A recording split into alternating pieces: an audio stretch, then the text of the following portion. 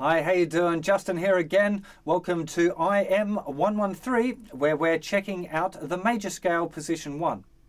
Now, for those of you that are following on from the beginner's course, this will be your first look at a major scale. And I want to share with you a couple of principles about learning scales before we actually, before I show it to you, um, which are really, really important. And the big one, and it's a really, it's a really, really, really important uh, skill that you should develop, which is when you are learning scales, you do it slowly and accurately.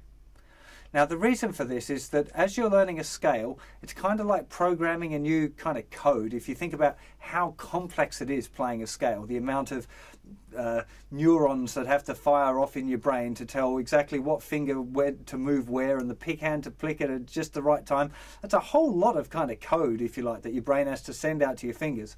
Now, if you get it right from the very beginning and you make sure that your fingers go in the right frets at the right time and you know you, you get it 100% correct. When you've finished learning the scale and you've played it through maybe four or five times really slow you can then tell your brain hey do that thing i've just been doing but do it faster please and you won't have any problems it's, it's, and it really works like that. If you start making mistakes at the beginning and you play it and you put one finger down and lift it off and put the right finger back on and pick the wrong string and all of this sort of stuff, it, it means that it'll take you an awful lot longer to learn the scale. And this is probably the most important thing you could get from this lesson is this technique of doing things really slowly and getting it right at the beginning.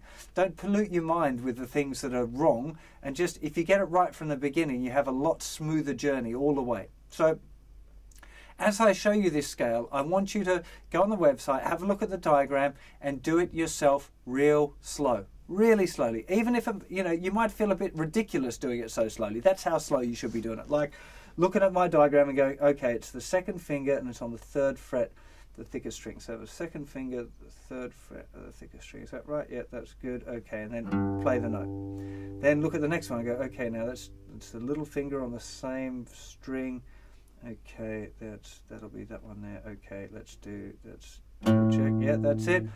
That kind of thing, really slow, for, and and it might feel a little frustrating, especially for you guys who are teenagers.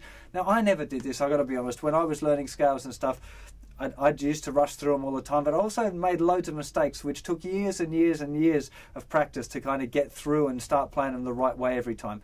Um, it, the more mistakes you make, the more often those little mistakes kind of sneak in just when you don't want them to. It's, it, it, it really makes a big difference if you can learn it right from the beginning. So that's, that's really important. Um, second thing I want to mention, make sure that you play with your fingertips. Now, this is one of those things that's, uh, that you need to do at this stage, but later on we might start changing it a little bit because eventually you probably your fingers have more than one task. They're not just playing the note, but they're also probably muting some strings and stuff like that as well. But at this stage, you really want to be playing right with your fingertips, the same kind of part of your fingers that you would have been using for the chords, right on the ends. Make sure your fingers are nice and round all the time. Keep it kind of technically really solid would be an, an excellent, excellent idea. Now, the other thing that I want to mention is learning one position at a time. Now, we're just learning now major scale position one. I want to teach you major scale position one, how to use it, how to play it, be able to make up a little solo with major scale position one before you think about learning any other positions.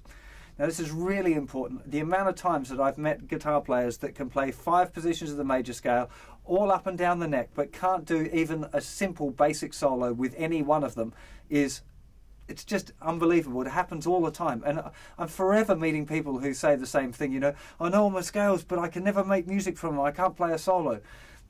Don't learn five positions if you can't make music out of one of them, right? So learn this one position and make sure you stick with this one position before you start trying to learn other different positions. Make music out of that position one. It's really possible. You don't have to know lots of positions to make up a good solo. You only need one. Well, you don't even need one really. You just need a good ear. But uh, you need to be able to use that one properly, right? Really, really important. Um, next, really, really important thing is a few of these, sorry, um, is that we're going to start and end on the lowest root note. Now the root note for the scale, the same as chords and with the bar chords where we have one note which determines kind of the note name of the scale. And it's exactly the same with this scale we're about to learn now. We're going to learn G major scale and we're going to be starting with our second finger in the third fret of the sixth string and that's the note G as you hopefully remember from your bar chord playing and starting on that note G will give us at the third fret will give us G major scale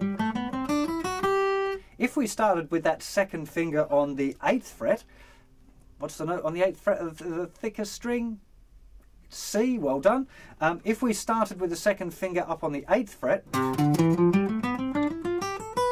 we'd have C major scale. So in effect, by learning this one major scale, you're in fact learning all of the major scales, one of each, one position of each major scale, which is a pretty cool thing. And this is the idea of using a root note and then just having to move that scale around.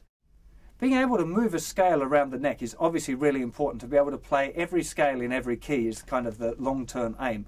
And that's why we make sure that when we're practicing the scales, we always start and end on the lowest root note. Now, this is also something I think is really important. A lot of people kind of get off on the wrong foot or get shown by someone not to do it this way. I really think it's important. And the reason for that is that you learn where to move your scale shapes to to create a different scale straight away. You know, if you know the root note is there with the second finger and you want to move it to a D major scale, you know to move it up to the 10th fret. It's, the idea is very simple.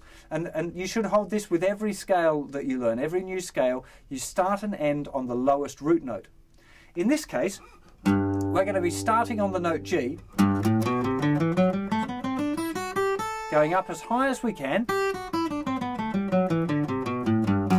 down as low as we can, and then back up and finishing on the note G. So it'll sound like this.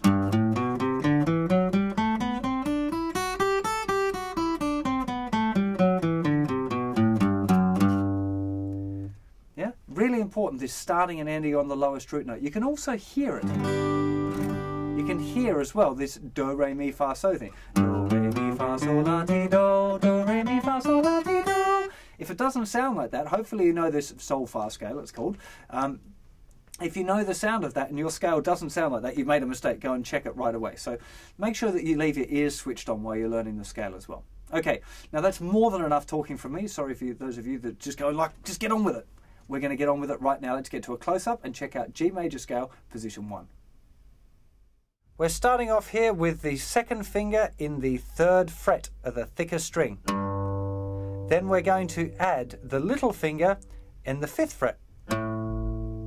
Next string, we're going to have the first finger in the second fret, second finger in the third fret, and little finger in the fifth fret. Next string, we're on the fourth string now, first finger in the second fret, third finger in the fourth fret, little finger in the fifth fret. Next string, we're now on the G string. First finger, second fret. Third finger on the fourth fret. Little finger on the fifth fret. Next string, second finger on the third fret. This is important. That remember that on this one string, we're starting off here with the second finger. Then little finger on the fifth fret. We're now up to the thinner string. First finger on the second fret, second finger on the third fret, little finger on the fifth fret. Now I would recommend that you practice the scale just going up to start off with. Make sure you can get it right, just going up. Also notice that you've got this little pattern here of 2, 4, 1, 2, 4. I'm talking about finger numbers of course. 2, 4, 1, 2, 4, then one, three, four, one, three, four. Then again, two, four, one, two, four. So if you divide it into kind of three sets, if you like, you've got the two, four, one, two, four, and you've got two, four, one, two, four on the outside groups of two strings with one, three, four, one, three, four in the middle. Let me just play it through for you now one time all of the way through and we're going to be now adding in this note here right at the end because as I said, we want to start on the lowest root note, which is the note G, play up as far as we can, back down as far as we can, and finishing on the root note. So one more time, I'm just going to play that nice and slow.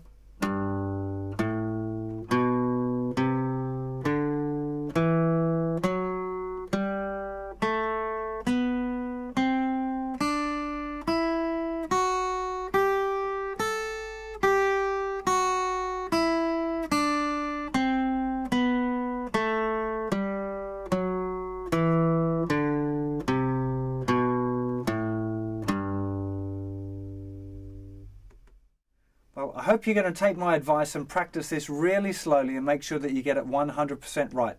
You'll almost certainly find the diagram on the website very helpful for doing this and it's worth definitely looking at it while you're practicing it to make sure that you get it right in the early stages. Now one more thing I need to mention here is the picking. Now, when you're learning a scale for the first time, a thing that I recommend is to use all down picks, just to take the idea of picking out of the equation. Just concentrate on playing the scale and do use all down picking, just to get it right. Now, ideally, you want to be doing alternate picking for this. So it will be all the way through down, up, down, up, down, up, down, up, down, up, down, up, down, up, down, up, down, up, down, So when you're starting and finishing that root note, actually the root note on the sixth string and the double octave root note on the thinner string should both be down picks. That's a good kind of little checkpoint to make sure you're going along with that and you're doing it right. If you struggle with your alternate picking, say it out loud as you do it. Count it, you know, say it to yourself down, up, down, up, down, up, down, up just because it's very, very difficult to say one thing and do another. And if, even if you do do it wrong, you'll re recognize that you've made a mistake straight away. So really keep an eye on it. Start with all down picks, learn the scale. As soon as you're cool with the scale and your fingers kind of know what they're doing and you can think a little bit about something else, i.e. your picking hand, then start to concentrate on that alternate picking down, up, down, up. Okay, now it's just time to put in some practice into this one. Make sure again that you're using your timer for five minutes so you get five minutes really concentrated, good, solid practice when you're doing this one. Just practicing the scale up and down for now. That's all I want you to work on. We're going to get into using the scale very, very soon, but to start off with, you need to know the scale properly. So just start off with up and down, really concentrate, get it 100% right, and I'll see you for another lesson very soon. Take care. Bye bye.